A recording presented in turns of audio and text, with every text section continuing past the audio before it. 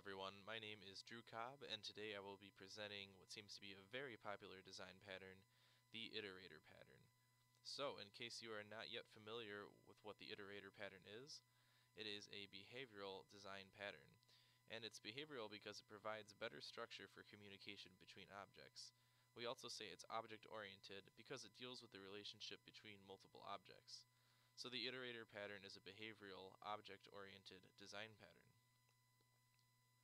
So a quick summary of what the iterator pattern is. It uses abstract classes and concrete implementations to define a way to iterate over a chosen object. This removes the need for the client to do so manually, while also providing a specific custom iteration functionality. So some of the intent of the iteration pattern, it tries to abstract the iteration implementation away from the client, um, it tries to provide a custom class specific way to iterate over an object. And another nice thing about the iterator pattern is that child classes can inherit this iterator. So that's great for extensibility. Here's a generic class diagram for the iterator pattern. So as you can see, there's a client which uses, uses both an abstract collection and an abstract iteration.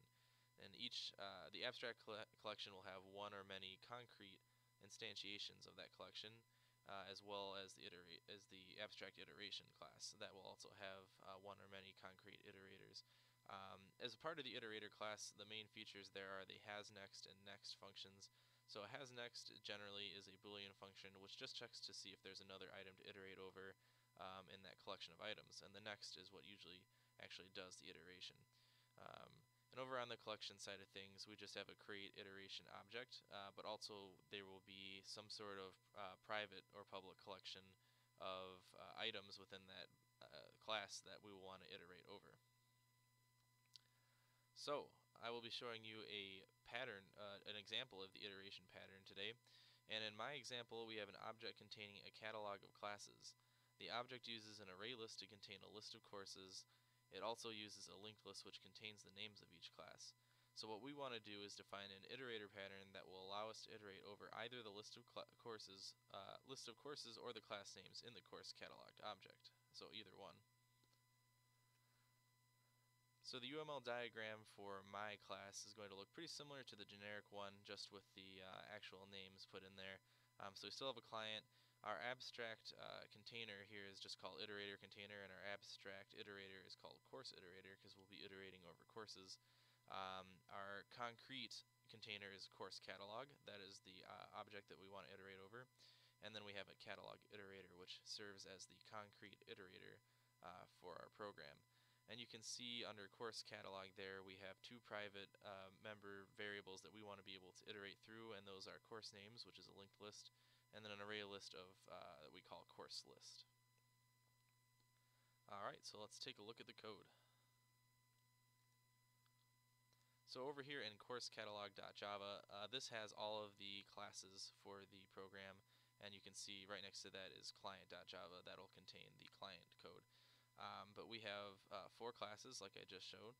Uh, here first is a uh, abstract interface. This is going to serve as our abstract iterator. We call it course iterator, and so it just has uh, defines has next and next course, which will be like has next and next that you saw in the generic uh, UML. Right here we have an abstract interface, which is going to be our iterator container that is going to serve as our abstract class, and that defines an iterator object. Now, so now for the meat, we have the concrete classes um, all the way down um, we have this course catalog. So the course catalog, as you can see, has the two private member variables that I mentioned before, uh, right here.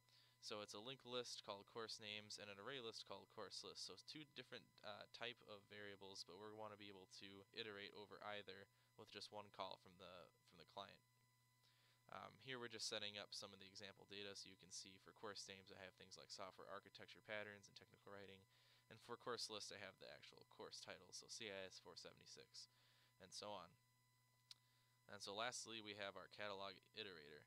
So this is the concrete iterator and this will be doing the iteration work for us.